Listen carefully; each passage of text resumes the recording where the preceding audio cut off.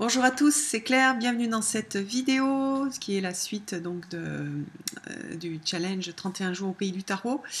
Aujourd'hui, euh, je vais parler de ma wishlist. Alors, je, retombe un petit peu sur les questions d'Etony, hein, puisque ce, challenge il a été réalisé à partir du, du challenge d'Etony auquel j'ai fait quelques modifications. Donc euh, l'idée c'était euh, de partager euh, ma wishlist, donc ma liste d'envie. Alors le premier tarot dont j'ai envie, c'est le tarot Bonestone and Earthflesh Tarot, qui est un tarot qui est dessiné par Anatourian, donc qui est en train d'être réalisé, qui est imaginé par Avalon, qui est une chaîne YouTube. J'aime beaucoup les illustrations. Anna Tourian, c'est elle qui a fait The Oracle of Echoes.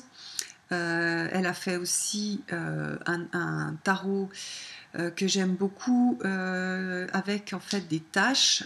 comment est-ce qu'il s'appelle ce tarot?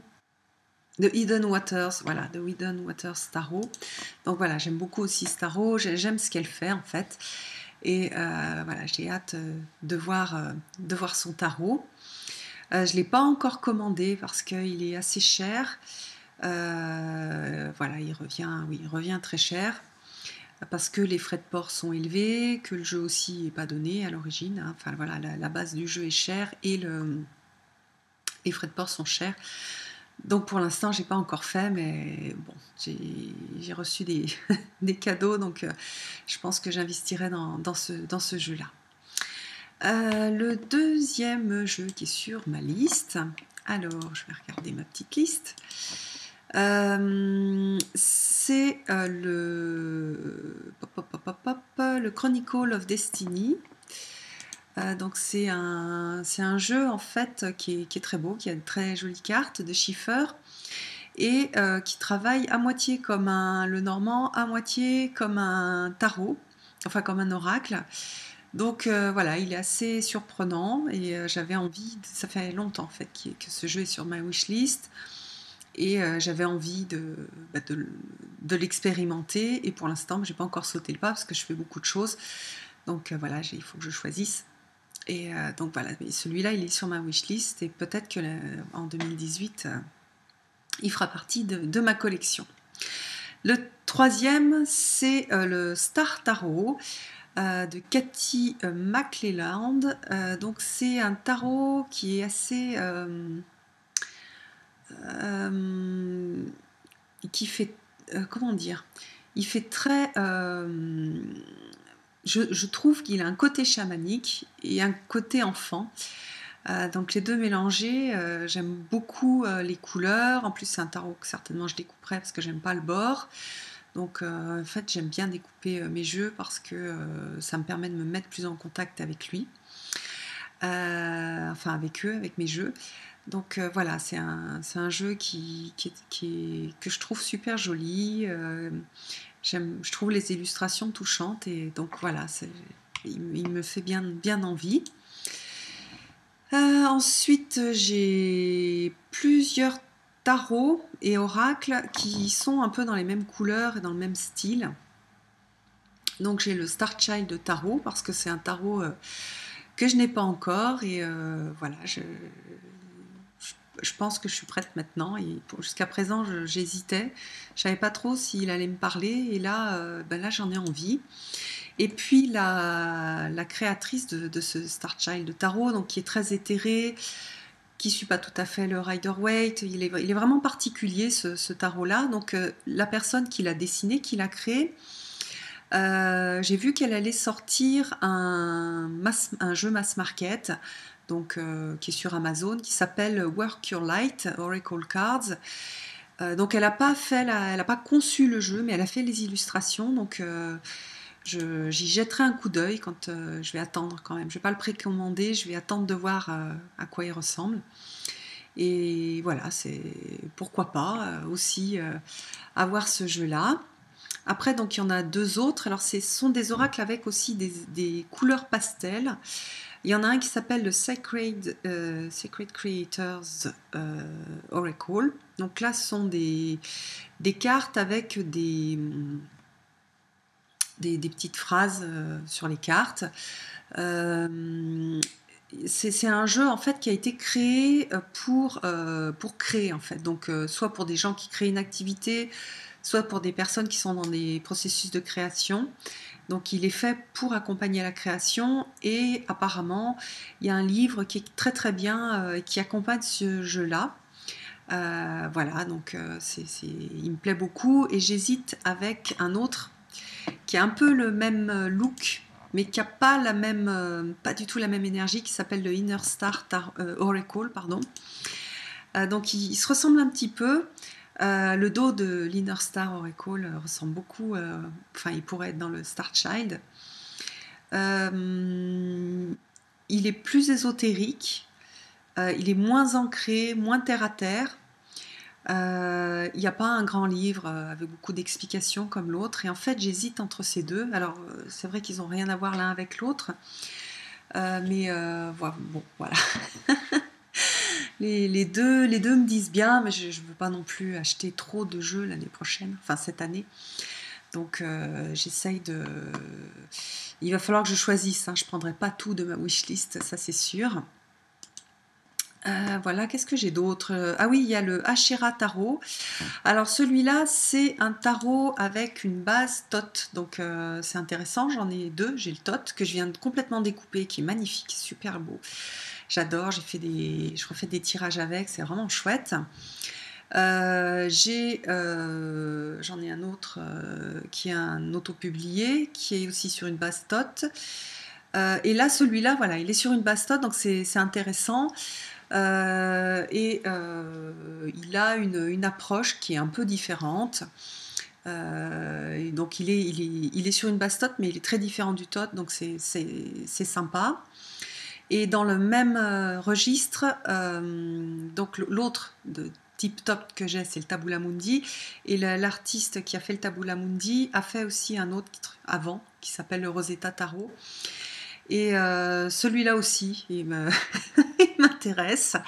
Donc il est aussi sur ma wishlist. Qu'est-ce que j'ai d'autre? Le Moon Oracle de Caroline Smith. Je vais voir. Je l'ai mis sur ma liste. Je ne sais pas si je vais le prendre. Euh, le tarot runique, j'ai hésité longtemps et je ne l'ai pas pris. Euh, je trouve joli, je ne sais pas en fait comment est-ce que je peux travailler avec, donc euh, c'est pas sûr que je le prenne. Qu'est-ce que j'ai d'autre? J'ai le Aura Soma Tarot, qui qu'on trouve plus en ce moment, mais qui est un tarot qui est basé sur sur les bouteilles Orasoma. On utilise ces couleurs pour guérir, donc c'est vraiment fait pour de la guérison. C'est des bouteilles avec deux couleurs hein, mélangées, donc avec deux phases, une phase plus légère que l'autre, donc euh, les couleurs sont très séparées. Et euh, celui-ci, il a été dessiné par euh, l'artiste qui a aussi dessiné un oracle de, sur les déesses. J'aime bien la façon qu'elle a dessiné. En plus, on a une voix lumineuse et une voix sombre pour les majeurs. Euh, donc il y a plus de cartes que dans un tarot euh, classique. Donc c'est vraiment tout un, comment dire, tout un monde nouveau. Donc je trouve intéressant. Quand on a beaucoup de tarot, on aime bien, euh, on aime bien aussi. Enfin, en tout cas, moi, j'aime bien avoir des choses nouvelles avec, et puis découvrir de, nouvelles façons de, travailler et d'un, comment dire, un univers différent. Au niveau de, d'autres, des autres oracles, il y a le Mildred. Euh, voilà, alors après, je le trouve très cher pour un tout petit jeu euh, minuscule. Donc euh, voilà, je réfléchis, je suis pas sûre de l'utiliser parce que d'abord parce que j'ai beaucoup envie de travailler avec le keeper et de continuer à travailler aussi avec le normand, donc ça rajoute encore un autre oracle avec des choses différentes. Et je trouve moins parlant en fait que, que le keeper ou euh, ou ça serait plus simple le normand puisque c'est des, symboles qu'il y a dessus, hein, une petite chaussure, euh, un petit soleil, donc ça ressemble plus au le normand et voilà, je je sais pas, je, le trouve super, j'adore le concept. En plus, il a, imaginé toute une histoire autour avec une petite fille qui était dans une institution, euh, donc qui est la fameuse Mildred. Euh, donc il y a des photos, euh, on aurait retrouvé dans les, je crois dans les pans de son manteau, dans les coutures de son manteau, le petit oracle. Donc c'est vraiment sympa. Il a, il a su donner une âme en fait à son jeu, mais je ne sais pas si je vais l'utiliser. Donc si je craque, ça sera ben, parce que c'est vrai que l'histoire me touche. Sa poupée, elle s'appelle Claire aussi. donc ça me touche aussi. Voilà, donc j'en ai envie, mais, euh, mais voilà, c'est toujours des, choix à faire. Vous voyez que ma liste, elle est hyper longue. Et puis, il y a tous les jeux de euh, Hélène Lorenzi Prince. Alors, j'ai fait un échange de tarot. Normalement, je devrais avoir le Dark Goddess, dont je vous ai déjà parlé, dont j'ai l'application, j'ai acheté l'application, j'ai acheté le bouquin PDF. Et là, normalement, je devrais avoir les cartes carton finalement, puisque j'ai pu les avoir dans le cadre d'un échange. Euh, mais y a, elle a fait aussi donc euh, le Tarot of the Crown, donc qui travaille plutôt sur la sagesse des anciens, et un autre qui me plaît beaucoup, qui est le Minoan Tarot et qui travaille là sur toute la, enfin avec les principes de la civilisation euh, crétoise. Donc avec donc comment dire les illustrations, c'est des illustrations qui ont été euh, qu'elle a dessiné à partir de, euh, de, vases, enfin d'objets d'art en fait de, cette époque-là.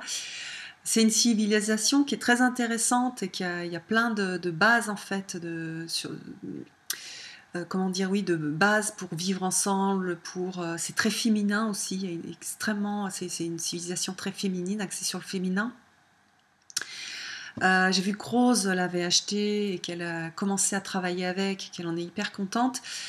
Et c'est vrai que souvent euh, j'ai un peu les, des goûts similaires à ceux de, Rose, donc j'avais envie euh, voilà, de le découvrir. Ça, fait plein plein de fois que je le regarde. Là j'ai vu que Rose a craqué et qu'elle l'a, donc ça me donne envie aussi. Alors ça c'est tous des jeux qui viennent des États-Unis.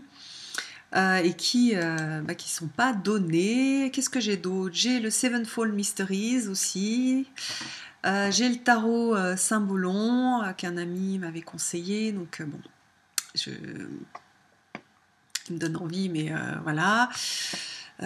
Par contre, il est, plus accessible. Il y a le Life Design Card, il y a le Journey into Egypt, mais qui coûte 100, enfin non, 90 euros, donc, ou de 100 euros.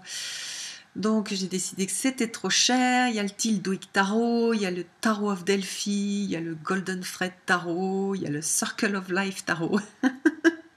le jeu du mage, le Duality Deck de Tanya Bond et l'Elizabeth on Earth, Self-Reflection Deck. Euh, voilà, tout ça, c'est aussi d'autres jeux qui, sont sur ma wishlist. Vous voyez qu'elle est assez longue. En fait, je l'avais complètement effacée. Là, c'est mon anniversaire, donc euh, mon, compagnon m'a dit Oh, tu peux refaire une liste que je regarde. Bon, je, lui dis À chaque fois que je fais une liste, tu vas pas piocher dedans, tu vas prendre des choses ailleurs. Donc, c'est la liste en fait des jeux que je vais pas avoir pour mon anniversaire. Et là, il m'a dit Non, non, je vais prendre dans la liste. Donc, euh, voilà, je risque. En février, euh, je, devrais recevoir en cadeau un jeu et je ne sais pas lequel. Et je ne sais pas encore, c'est jamais sûr avec lui, euh, que ce sera un jeu de, ma, liste d'envie, mais, mais ça fait rien en fait. Euh, j'aime bien et puis euh, toujours fait avec beaucoup d'amour, donc j'adore en fait recevoir des jeux de, de, sa part. Ils ont toujours quelque chose d'hyper particulier pour moi. Euh, voilà, donc euh, vous voyez que malgré l'énorme collection que j'ai hein, de jeux, parce que je dois en avoir euh, entre 200 et 300, j'ai toujours, envie, non pas peut-être pas 300, je pense 250, j'ai toujours envie de jeux, ça me fait toujours autant rêver. voilà, c'est un peu une... Il y a une démarche un peu de, consumérisme, c'est sûr. Hein. on n'a pas besoin d'avoir euh, autant d'oracles ou de tarot pour euh, tirer les cartes. Hein. Un jeu de tarot, pendant longtemps j'en ai eu un et ça suffisait bien. Euh, voilà, là j'en aurais trois de chaque. Certainement que ça suffirait. je le fais parce que parce que bon, c'est ma petite addiction à moi, parce que j'adore l'art. Euh, donc euh, à chaque fois, je, suis, je me laisse porter par, euh, par les illustrations. J'adore le, tarot aussi, le monde du tarot, l'histoire du tarot, de voir comment est-ce qu'il a été exploité, comment est-ce qu'il a été créé, comment est-ce qu'il a été, comment il a grandi, à quoi il ressemble aujourd'hui. le fait que c'est un reflet aussi de la société, comment dire, les tarots qui sortent euh, sont le reflet de la société, des besoins de la société, des peurs, etc. Tout comme euh, quand il a été créé. enfin, quand ils ont été créés, il y en a plusieurs qui ont été créés. que ce soit voilà le Montaigne ou que ce soit le Tarot de Marseille ou que ce soit le Visconti Forza, euh, tous ces jeux-là, ils étaient empreints de, des, espoirs, des croyances et des peurs de l'époque. Et aujourd'hui, en fait, on est exactement dans la même situation, c'est-à-dire que les créateurs, ils créent en fonction de, leur monde. Et je trouve ça euh, hyper passionnant. Voilà, et puis en plus, on a tout le monde des oracles qui est euh, plus. où il y a un gros travail esthétique et qui est, je trouve, assez fascinant.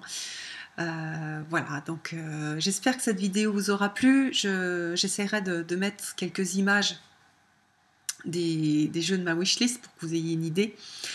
Euh, voilà, je, je vous embrasse tous et je vous donne rendez-vous pour une prochaine vidéo. À bientôt